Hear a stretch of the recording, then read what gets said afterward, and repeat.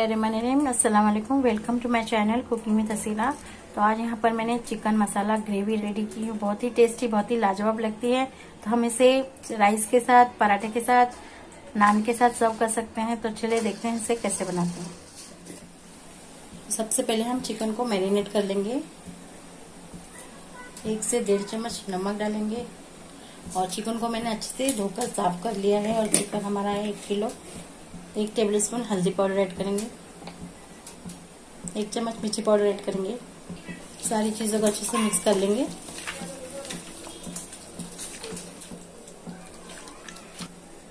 तो अब हम इसे आधा या एक घंटे के लिए साइड में रख देंगे या आप इसे फ्रिज में भी रख सकते हैं। तो आधे घंटे के बाद ये देखिए चिकन अच्छे से मैरिनेट हो चुका है। तो एक किलो चिकन में यहाँ पर हम, हमें चार से पाँच बड़े प्याज लेना है इस तरह से स्लाइस करके। एक पैन में हम ऑयल डालेंगे।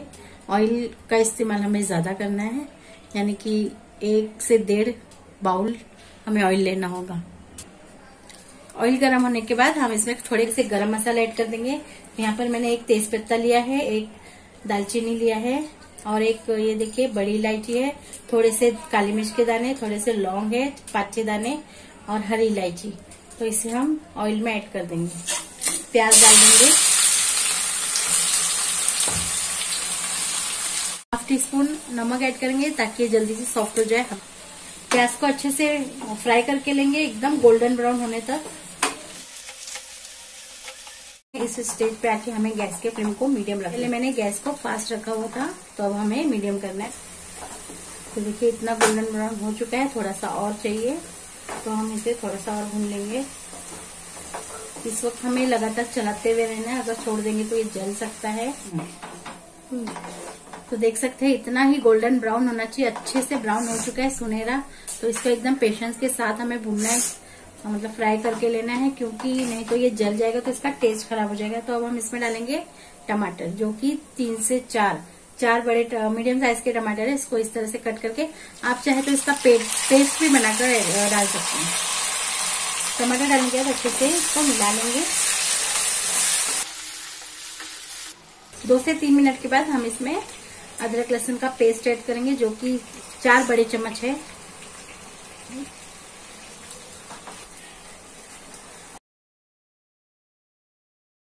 देखिए, थोड़ा सा हम पानी ऐड करेंगे ताकि ये जले नहीं। तो अब हम पाउडर मसाले को ऐड करेंगे। तो यहाँ पर मैंने एक चम्मच हल्दी पाउडर लिया है, दो चम्मच धनिया पाउडर और डेढ़ चम्मच गरम मसाला पाउडर और तीन से चार चम्मच यहाँ पर मैंने लाल मिर्ची पाउडर लिया है, जो कम तीखी वाली है। तो इसको भी हम ऐड कर देंगे।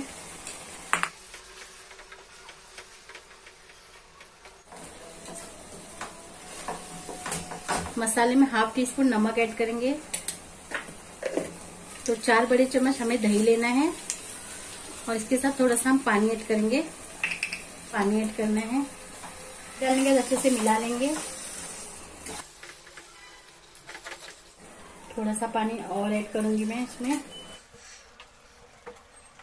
तो गैस इस वक्त मीडियम है, इसको हम ढक्कन ढक के थोड़ा पका के लेंगे मसालों को और बीच बीच में हमें चलाते भी रहना है। मसालों को बिल्कुल भी जलने नहीं देना है।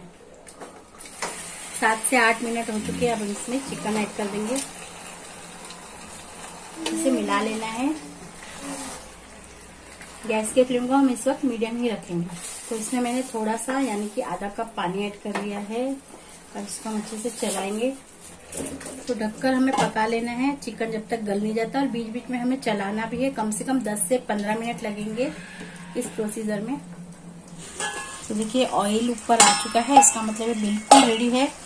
तो इसे तो मैं इसमें थोड़ा सा आधा से, आधा ही ग्लास पानी ऐड करूँगी। तो ये हमारे ऊपर हम चाहे तो पानी ऐड कर सकते हैं, या तो ऐसे भी सर्व कर सकते हैं। तो चलिए, अभी अच्छे से मिलाएँगे और पानी पानी डालने के बाद कम से कम एक दो बॉईल आने तक इसे हम ऐसे ही छोड़ देंगे पकने के लिए। तो चलिए अब मैं सर्व करके दिखाती हूँ। इसमें हरी धनिया से हम गार्निश कर लेंगे लास्ट में देख सकते हैं, माशाल्लाह कितना खूबसूरत और अल्हम्दुलिल्लाह, बहुत ही स्वादिष्ट टेस्टी रेसिपी बनकर रेडी हुई है। आप इस रेसिपी को ज़रूर ट्राई कीजिए। तो चलिए मैं इसे सर्व करती हूँ।